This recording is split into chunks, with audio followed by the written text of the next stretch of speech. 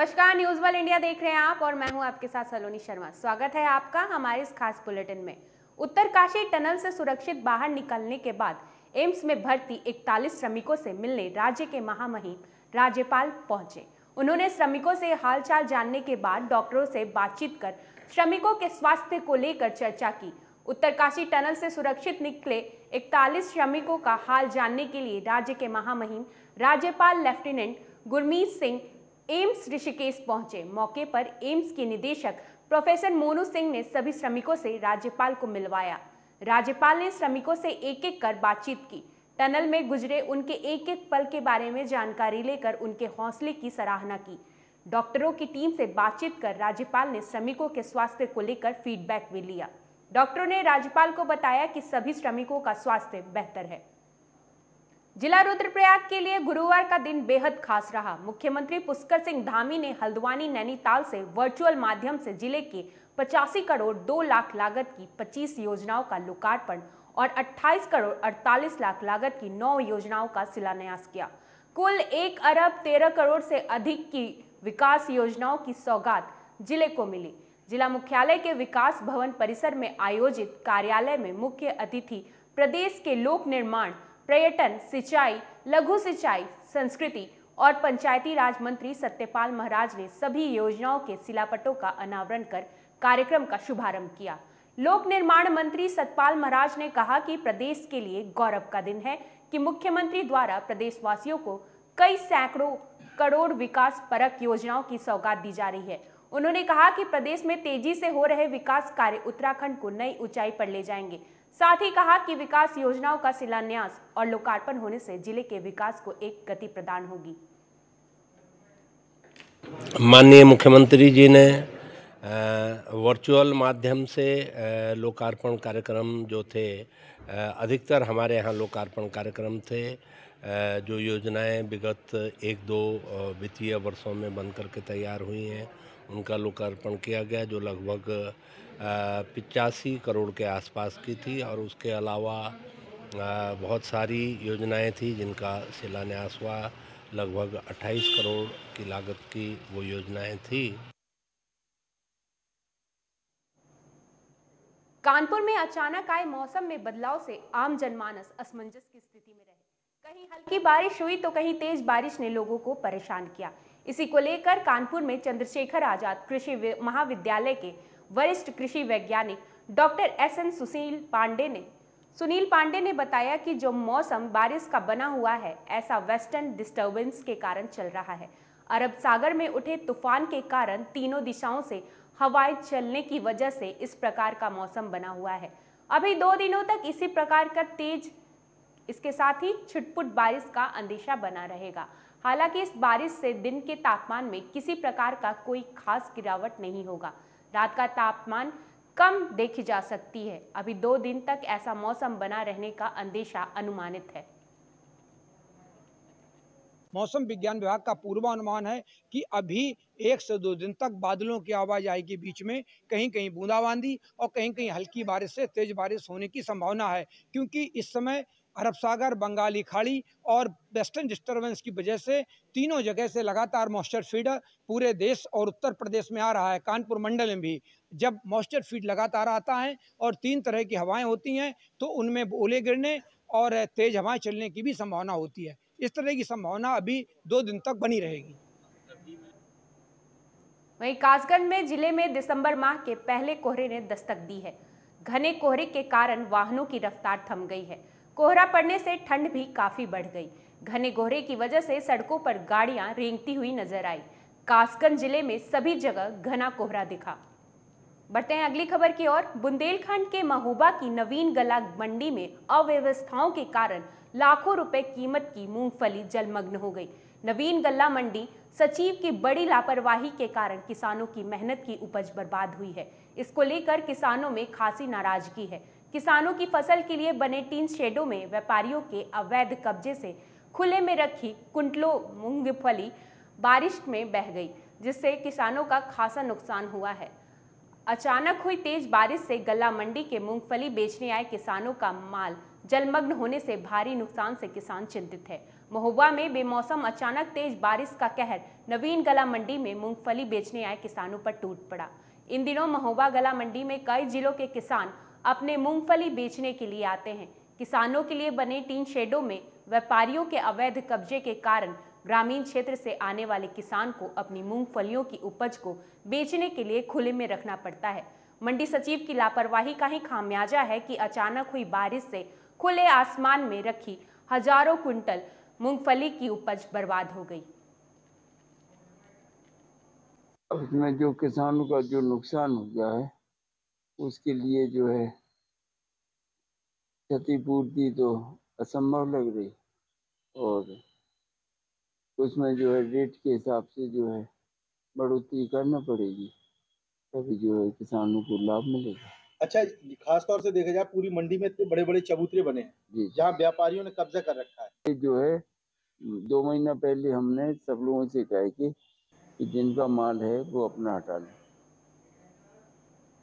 बांदा में जूते चप्पल की दुकान में शॉर्ट सर्किट से आग लग गई जिससे पचास हज़ार नकदी समेत लगभग 10 लाख का सामान जलकर खाक हो गया। वहीं मौके पर पुलिस बल मौजूद रही। मोहल्ले वासियों की मदद से आग पर काबू पाया गया। वहीं फायर ब्रिगेड मशीन न पहुँचने से लोगों में भारी आक्रोश देखने को मिला। मामला बेबेरू कस्बे के अगौसी रोड, रावण मैदान के पास का है। बढ़ते हैं अगली खबर की ओर। प्रतापगढ़ में रोडवेज़ बस और कार में जोरदार टक्कर हो गई। हादसे में बेटी और पिता की मौत हो गई। वहीं एक ही परिवार के पाँच व्यक्ति गंभीर रूप से घायल हो गए। साथ ही प्रतापगढ़ रोडवेज़ डिपो और कार पूरी तरह से क्षतिग्रस्त हो गया। साथ ही घायलों को मेडिकल कॉलेज में भर्ती करवाया गया है। वहीं अपर पुलिस अधीक्षक समेत भारी पुलिस बल मौके पर मौजूद रही। मौके पर हादसे के बाद चीख पुकार मच गई। स्थानीय लोगों की मदद से कटर से काटकर शव को बाहर निकाला गया। मामला जेठवारा थाना क्षेत्र के सराय आना देव के पास का है। अमेठी में तेज रफ्तार से जा रही डायल 112 की पीआरवी ने मोपेड सवार अधेर को टक्कर मार दी। डायल 112 की चपेट में आने से अधेर गंभीर रूप से घायल हो गया। घटना की सूचना मिलते ही आसपास के लोग भी एकत्रित हो गए। जब आसपास के लोगों ने हंगामा काटा तो पुलिसकर्मी युवक को सीएससी लेके गए। अधेड़ व्यक्ति नुवावा गाँव का रहने वाला है। मामला अमेठी कोतवाली क्षेत्र के ककौवा रोड के कोरारी गिरधर शाह का है। झांसी ज़िले के चिरगांव के अंबेडकर नगर में भीमराव अंबेडकर बाबा साहेब की मूर्ति को रात के समय अराजक तत्वों के द्वारा क्षतिग्रस्त कर दिया गया। जब सुबह इसकी जानकारी स्थानीय लोगों को हुई तो भीड़ इकट्ठा हो गई। लोगों ने नारेबाजी करना शुरू कर दिया। मौके पर थाना प्रभारी एसडीएम सहित तमाम थाने से पुलिस फोर्स सहित चिरगांव थाना अध्यक्ष संतोष कुमार अवस्थी पहुँचे। लोगों की मांग है कि जल्द से जल्द इस क्षतिग्रस्त प्रतिमा को बदलकर नई प्रतिमा लगाई जाए और अराजक तत्वों को कड़ी से कड़ी सजा मिले। खबरों का सिलसिला जारी रहेगा, लेकिन वक्त हो चुका है एक छोटे से ब्रेक का। आपके सरोकार की खबर, आपके क्षेत्र की खबर और आपकी अपनी खबर पहुंचाएगा न्यूज़ वॉल इंडिया आप तक। तो अभी डाउनलोड करें news wall India app news wall India देख रहे हैं आप। मैं हूँ आपके साथ काजोल नारायण और मेरे साथ मौजूद है हरीश असवाल जी। और हमें बहुत खुशी हो रही है कि हम इस तीन साल के सफ़र में एक और कदम आगे बढ़ा रहे हैं। जी हाँ हमने news world India app launch किया है, जिसके माध्यम से आप हमसे और आसानी से जुड़ सकते हैं। और इसके पीछे क्या मकसद है, वो हरीश जी हमें बताएँगे।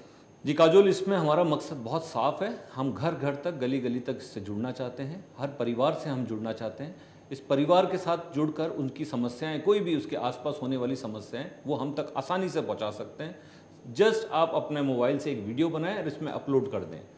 तो उससे अपलोड करने से पहले ऐप को डाउनलोड करें और घर बैठे अब रिपोर्टर बने। आपकी खबर अगर हुई बेहतरीन और किसी की हुई मदद तो आपको हम इनाम भी देंगे। तो अभी डाउनलोड करें गूगल प्ले स्टोर पर जाकर न्यूज़ वर्ल्ड इंडिया ऐप। यहाँ आपको हर तरह की खबर मिलेगी।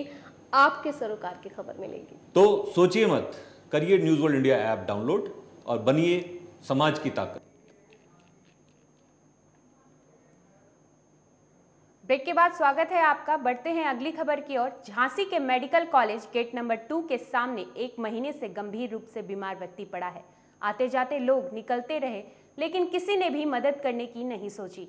रात 9 बजे आसरा एनजीओ के बंटी शर्मा के पास कुछ यूनिवर्सिटी में पढ़ने वाले बच्चों का कॉल आया कि मेडिकल गेट नंबर टू के गेट के बाहर एक गंभीर रूप से बीमार व्यक्ति पिछले एक महीने से पड़ा हुआ है, जिसका इलाज मेडिकल में नहीं किया गया। उसको भगा दिया जाता है। तब से वो गेट पर ही पड़ा हुआ है। आसरा एनजीओ के बंटी शर्मा, पूजा शर्मा रात 10 बजे बारिश में मेडिकल हॉस्पिटल पहुँचे और वो उस व्यक्ति को हालचाल देखते हुए उसे सीएमसी सचिन मोहरे को कॉल किया और मेडिकल के नीतीश मेडिकल की एंबुलेंस इंचार्ज ने तुरंत। एंबुलेंस भेजी और उस व्यक्ति को doctor S N Rajput ji ने तुरंत दिखाया और एडमिट कर लिया। आसरा सोसाइटी एनजीओ के सफल प्रयास को लोग काफ़ी सराह रहे हैं। वहीं मंदसौर ज़िले के गाँव बाबुल्दा में चोरों के हौसले बुलंद हैं। चोरों ने गाँव के अंदर जाकर दो मकान के ताले तोड़कर सोने और चांदी के जेवर और नकदी लेकर फरार हो गए। मौके पर भानपुरा पुलिस पहुंचकर जाँच में जुटी है। श्रावस्ती में दो युवकों के नदी में डूबने का मामला चार दिन बाद सामने आया है, जहाँ एक युवक का मोहनपुरा के पास नदी में शव मिला है। युवक का शव भखलालपुल के राप्ती नदी से तीन किलोमीटर दूरी पर मिला है। आपको बता दें कि दो चचेरे भाई स्नान करते हुए गहरे पानी में जाने से नदी में डूब गए थे। दोनों युवक कार्तिक पूर्णिमा पर भगला पुल के राप्ती नदी में स्नान करने गए थे। स्थानीय गोताखोर और एनडीआरएफ की टीम चार दिनों से नदी में युवक की तलाश कर रही थी। दोनों युवक सोनवा थाना क्षेत्र के लक्ष्मण नगर के निवासी थे। वहीं उत्तरकाशी में गंगोत्री नेशनल पार्क के प्रवेश द्वार को पर्यटकों और तीर्थ यात्रियों के लिए बंद कर दिया गया है। राजवीर सिंह रावत वन दरोगा प्रभारी कनूख बैरियार के नेतृत्व में आगामी 30 मार्च 2024 तक के लिए इसे बंद कर दिया गया है। नेशनल पार्क के कर्मचारी इस मौके पर मौजूद रहे।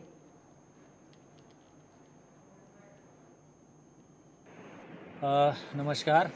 आ, आज तीस नवंबर 2023 को आज गंगोत्री नेशनल पार्क के गेट बंद हो गए हैं। जो कि करतांजलि हो, चाहे केदारताल हो, चाहे नेलोंग हो, या गंगोत्री गौमुख ट्रिक मार्ग हो, ये समस्त गेट आज समस्त पर्यटकों के लिए तीर्थयात्रियों के लिए बंद कर दिए गए हैं। आगामी नेक्स्ट ईयर 2024 को फिर से खोल दिए जाएँगे। धन्यवाद। केंद्र सरकार और प्रदेश सरकार की योजनाओं को जन जन तक पहुँचाने के लिए पूरे देश और प्रदेश में विकसित भारत संकल्प यात्रा अभियान चलाया जा रहा है। रायबरेली ज़िले में विकसित भारत संकल्प यात्रा 23 नवंबर से शुरू होकर 26 जनवरी 2024 तक चलेगी। रायबरेली को विकसित भारत संकल्प यात्रा अभियान के तहत आठ गाड़ियाँ मिली हैं और जल्द ही और गाड़ियों के मिलने की उम्मीद है। उसके बाद ज़िले के ग्रामीण क्षेत्र और शहरी क्षेत्रों में जाकर केंद्र सरकार और प्रदेश सरकार की योजनाओं को जन जन तक पहुँचाया जाएगा। विकसित भारत यात्रा के दौरान स्वास्थ्य सेवाओं को लेकर जहाँ लोगों के आयुष्मान कार्ड, राशन कार्ड जैसे अनेक योजनाओं को जानकारी दी जाएगी। साथ ही उनकी योजनाओं के बारे में जागरूक भी किया जाएगा। मामला मौरानीपुर तहसील क्षेत्र अंतर्गत ग्राम बुढ़ई का है, जहाँ कुछ दिनों पहले प्रधानमंत्री ग्राम सड़क योजना के तहत सड़क का निर्माण किया गया था। लेकिन सड़क निर्माण में इतना भ्रष्टाचार किया गया कि उक्त सड़क कुछ दिन में ही जगह जगह से उखड़ने लगी, जिसको लेकर दर्जनों ग्रामीणों ने एसडीएम के नाम हस्ताक्षर युक्त प्रार्थना पत्र देकर बताया कि रेवन तिगला से ग्राम बुढ़ाई तक फ़ेज़ टू में सड़क पर डामरीकरण किया जा रहा है, जो कि ठेकेदार द्वारा करवाया जा रहा है। डामरीकरण बिल्कुल मानक विहीन नहीं हो रहा। ग्रामीणों ने बताया कि सड़क निर्माण में डामर का प्रयोग न के बराबर किया जा रहा है। सड़क हाथ से पकड़कर निकल रही है, जिसको लेकर ग्रामीणों ने उक्त सड़क की जाँच कराकर मानक के अनुसार बनाए जाने की मांग की है। आपको बता दें कि जब कॉल के माध्यम से एसडीएम से जानकारी मांगी गई तो उन्होंने बताया कि मामला संज्ञान में आया है, जाँच की जा रही है। झांसी के मौरानीपुर में पीसीएफ में खाद प्राप्त करने के लिए हज़ारों किसानों की भीड़ उमड़ पड़ी। खेतों में बुआई के चलते किसानों को खाद की आवश्यकता है, जिसके चलते हज़ारों किसान पीसीएफ मौरानीपुर खाद प्राप्त करने के लिए पहुँच रहे हैं, जिसके चलते पीसीएफ में हज़ारों किसान इकट्ठा हो गए। कुछ किसानों का कहना है कि तीन दिन से खाद प्राप्त नहीं हुआ है। वहीं बताया जा रहा है कि ज़िले में भारी, कम मात्रा में सीसीएफ को खाद प्रदात होने से किसानों को खाद उपलब्ध नहीं हो पा रहा है। किसानों ने ज़िले के अधिकारियों से मांग के तहत खाद उपलब्ध कराने की मांग की है। हाँ एक और हमारे देश के प्रधानमंत्री कह रहे हैं कि हम चाँद पर पहुँच गए हैं। लेकिन ऐसे चाँद पर पहुँचने का क्या फ़ायदा?